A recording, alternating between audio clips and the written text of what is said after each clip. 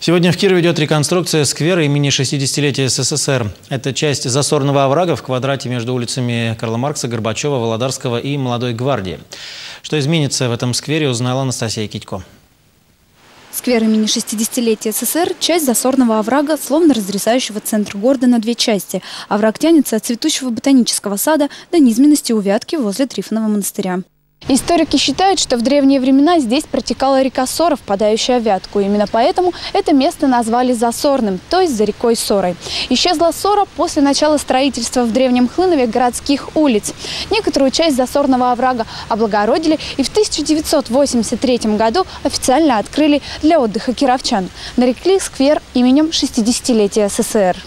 Нельзя сказать, что в современном сквере сильно развита инфраструктура. Некогда красивый пруд во главе скульптуры Нептуна не ухожен и без воды. Однако этот уголок природы пытаются поддерживать в достойном состоянии всеми силами. В рамках городских программ по благоустройству в сквере уже началась реконструкция. В первую очередь мы провели выбраковку зеленых насаждений аварийных, убрали пни, значит, сметили работы все связанные с, с дорожками, с поребриком, с брусчаткой с ограждениями. Вот сейчас установка поребрика идет. В нижней части будет уложена брусчатка.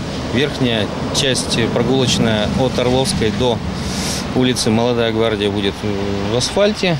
Значит, и мы планируем дальнейшее благоустройство в виде установки малых архитектурных форм.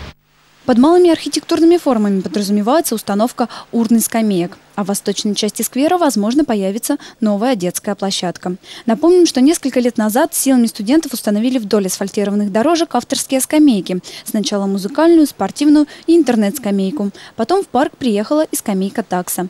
Благоустройство сквера планируют завершить к концу августа. Анастасия Китько, Валерий Никулин, Вести Киров.